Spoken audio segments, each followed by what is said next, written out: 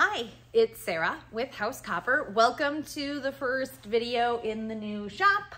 Um, it's awesome and I wish you all could come here and, and enjoy it. And actually um, in 2023, I will be doing some workshops here in Wisconsin in my shop, one day, two day, three years, uh, three days um, of various different uh, activities. So keep an eye out for those on my website or go to House Copper and sign up for uh, getting notifications about the workshops. You won't get like anything else from me. It'll literally just be like, hey, FYI, I have workshops, here they are, and here's when they are and how you can sign up. But anyway, so that said, today we are going to be doing a lid build, but it's not a typical round lid. Um, everybody has different types of cookware of various shapes, sizes, ages, makes. And this one is a oval rectangle. And it's, so it's funny, the base actually is oval, whereas the outside is more square. But we're going to build an over lid, so not something with an interior rim, rim band, which I've done before in circles, and you can find those videos also here on my channel. But you, um, sometimes we do lids that go over the top and you will see these in older bills, uh, um, uh, W's, I can't pronounce, I'm not good at French. Um, some of the boilers from France, um, fish poachers, things like that often may have a uh, lid where the rim band goes over the top. So that's what we're gonna build um, in a couple parts. I don't know if I'll get the whole build done today. And um, it, you know, it's gonna take some finagling because some of my tools aren't big enough to do what needs to get done. But without further ado, we are going to build a crazy shaped lid. Okay, here is the exterior rim band, which I have cut to go around the exterior of the piece. So and what's hard is this is not a symmetrical piece at all. The back is actually longer than the front.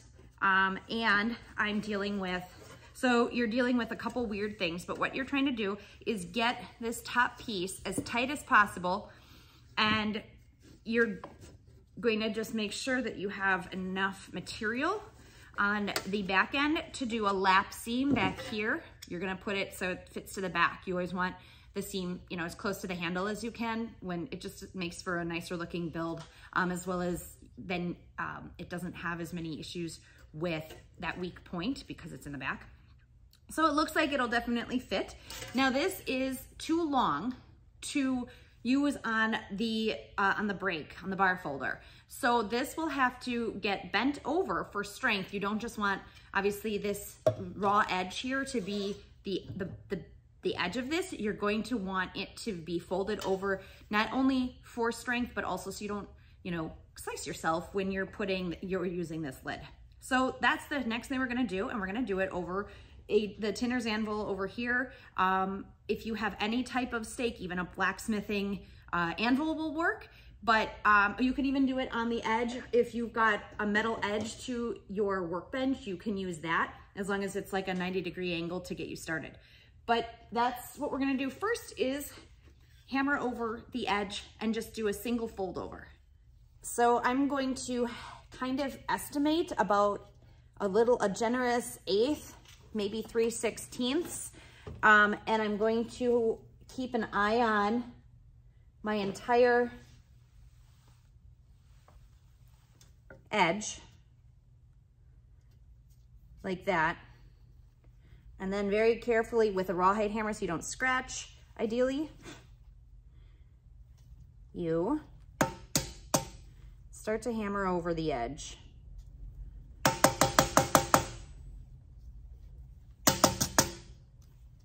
And so that's what I'm starting to do. Do you see how the edge is getting moved over? I'm gonna do that bit by bit and I kind of use whatever I've already turned over essentially.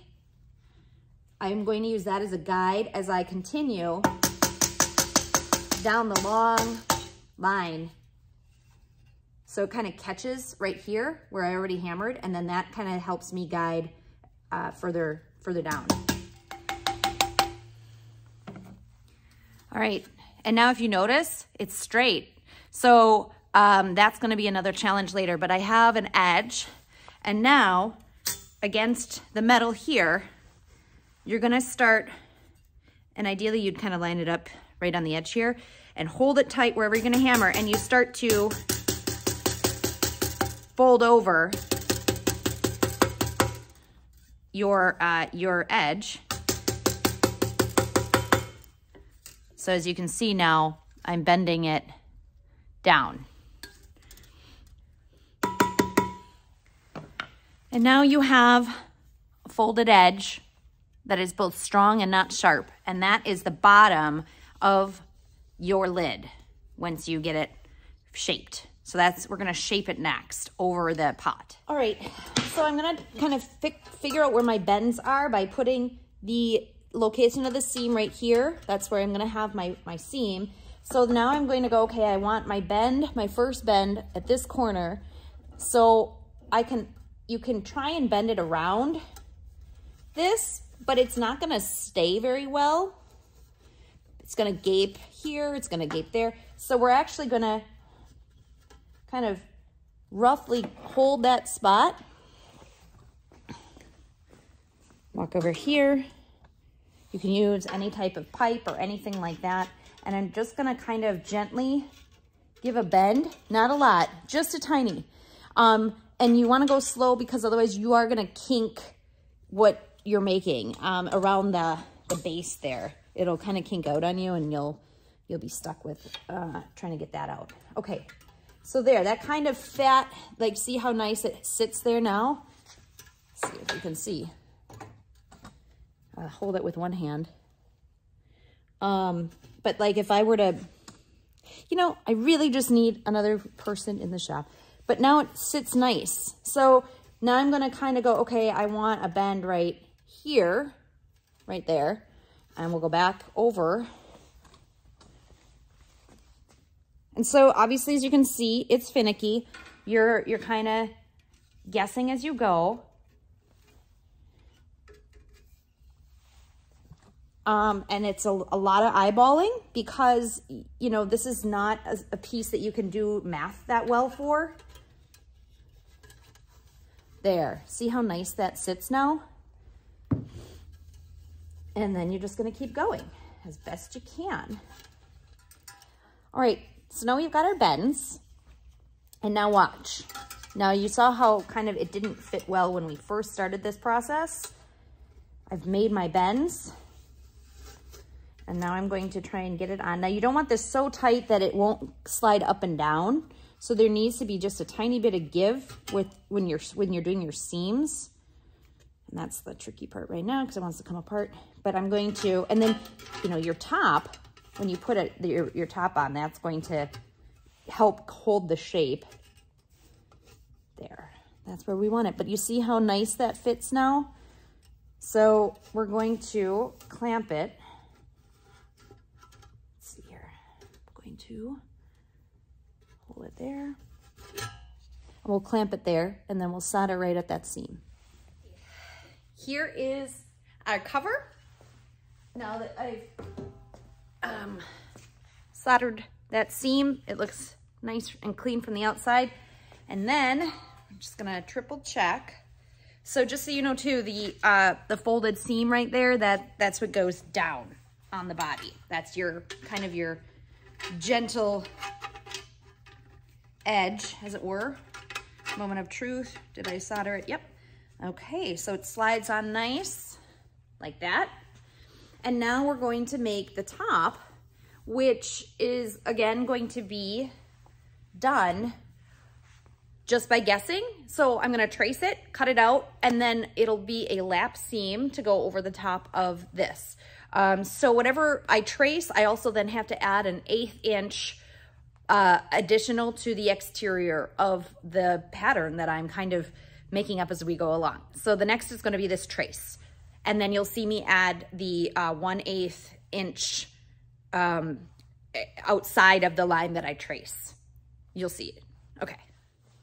You always want to use um, scrap whenever you can, just because you don't want to waste material if you don't have to. And funny, you know, because again, the base is nothing like the top. I can't use the base to trace.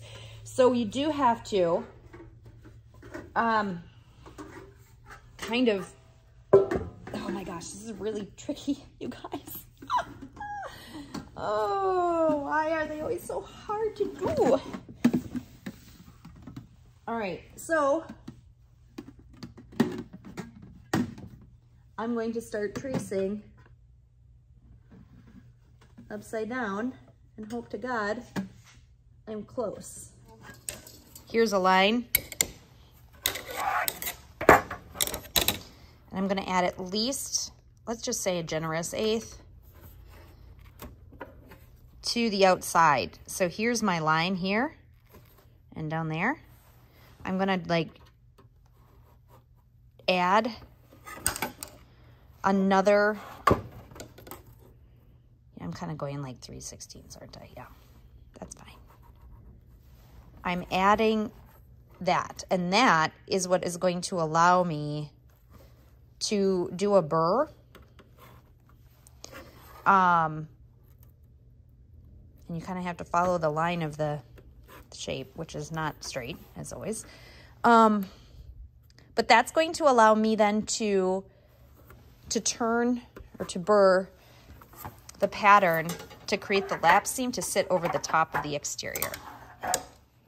So now that I have, you know, a rough estimate, now the corners are a lot trickier. So I've drawn lines up top and I've drawn them all along here, but at the corners, I just am eyeballing my generous eighth inch, if not 3 sixteenths. And you kind of sketch these last bits. Okay, here is our piece. As you can see, it's kind of the odd shape that the pan is. And now, in order to get this to fit on here, let's make sure we're good. And it's gonna kind of become this. Um, we have to burr this edge, uh, probably I'm gonna say a, about an eighth um, to, you know, one side. And then that will kind of be the cover for our, our band here. Um, and then once that's done and the seam is soldered or it's soldered on, um, then we can build the handle. So here we go. Here is the burring machine. Here is my ruler and I'm going to do a generous eighth, maybe a little more, teeny. Too much. This needs to be, see in the, this is the Christmas tree. I don't know if you can see it. There you go. We're gonna go slow. It's an odd shape. And actually, I feel like I need to, so going around the corners is going to be particularly tricky. And I can tell already it's not gonna like me. So you just gotta keep your edge and I'm obviously kind of picking up as I go because it's not meant to do these long shapes, this machine. It just, they don't like each other. All right. Here's, it has warts, totally expected that. Uh, and also the corners, the, the four corners are all kind of kinked. So we'll take those out over a stake and kind of flatten and, and reconfigure this bit by bit so it's a little bit better, less warped. Um, and uh, these long faces and stuff like that, that it happens. You're gonna get something uh, similar in diameter and just hammer out the kinks right here using a rawhide hammer. You know, so well, I can go on the edge here.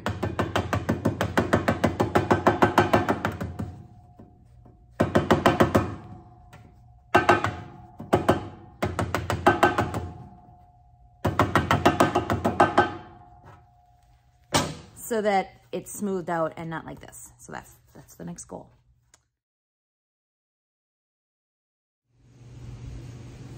All right, now it's time to make the handle for our lid.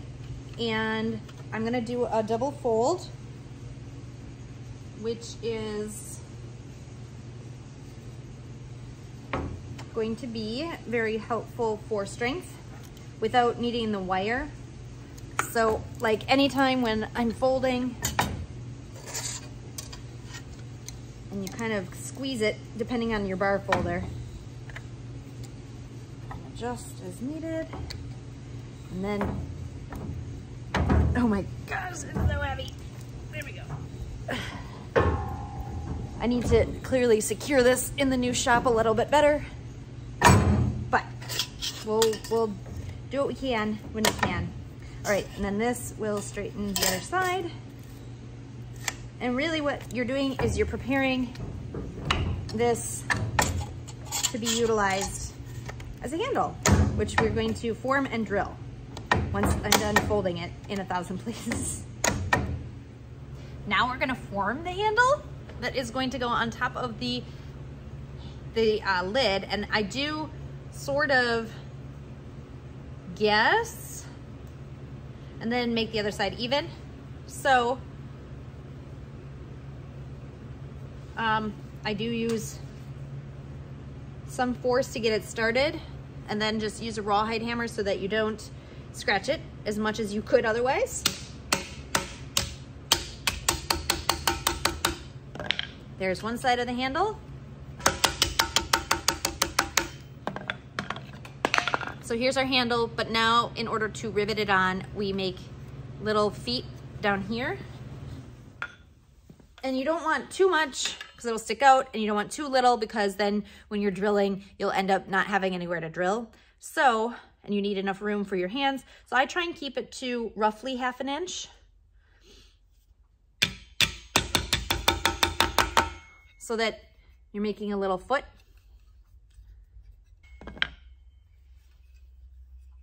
And there is our handle. So here's our lid that has fit really nice. And there is our handle. And next, there's gonna be just a tiny drilling into the foot here and then matching it up and riveting on the handle. And then, um, and then I'll solder the, uh, the rivets. So I'll just, it's stuff I've done on here before, but really it's drilling in the foot, drilling in the foot, or drilling here, putting rivets on, and then soldering the inside of this. I'll do a little bit of each piece of this, but I'm not gonna explain step by step um, because it's pretty self-explanatory. But, uh, all right, let's uh, attach this handle and be ready to go finally.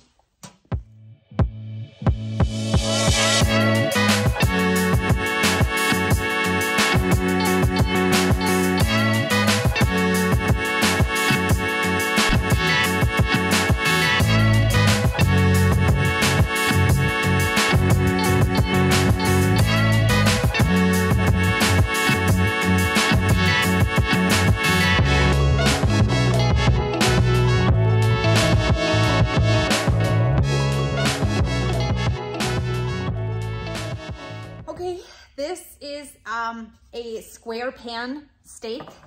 So it's square and flat and it has edges. So I have to be really careful when I hammer um, the rivets into this because um, you can dent your space really bad.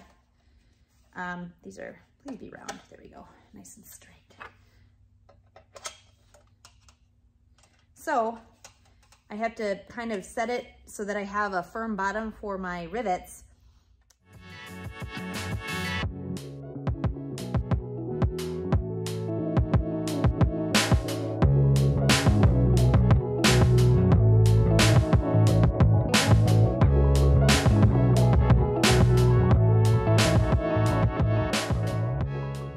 okay, it's done. We did all the steps. Very interesting shaped lid. Now you can see that patterns can be very odd, um, but we have a sturdy lid with a very sturdy handle that is the fitting equivalent to this very odd shape. And, oh, sorry, you don't, you didn't get to see me put it on. And it fits. So now I'm gonna clean the rest of this little puppy up and uh, send it off to the customer. But I uh, hope if you have any thoughts or questions or how you would do it, please put them in the comments below. And uh, don't forget to check out my 2023 workshops. There will be, um, uh, there will also be live Q&As. So a couple of those throughout the year. And uh, if you sign up for just the, the FYI email that I will occasionally, very rarely send out to be like, hey, these are the days for the Q&As this year um, that I'll be answering questions live for like an hour, hour and a half randomly. So um, that'll happen too. Don't forget to pick up Copper, Iron, and Clay um, wherever books are sold or subscribe to this channel, share it because you know cooking and copper go together. And anyway, thank you for joining me for the first video of 2023. There will be more to come, um, some baking, some cooking, and uh, lots more. So thank you again for, um, for watching. Oh, and of course, as always, where I get the solder and everything like that will also be below. All right, cool. All right, until next time, see ya.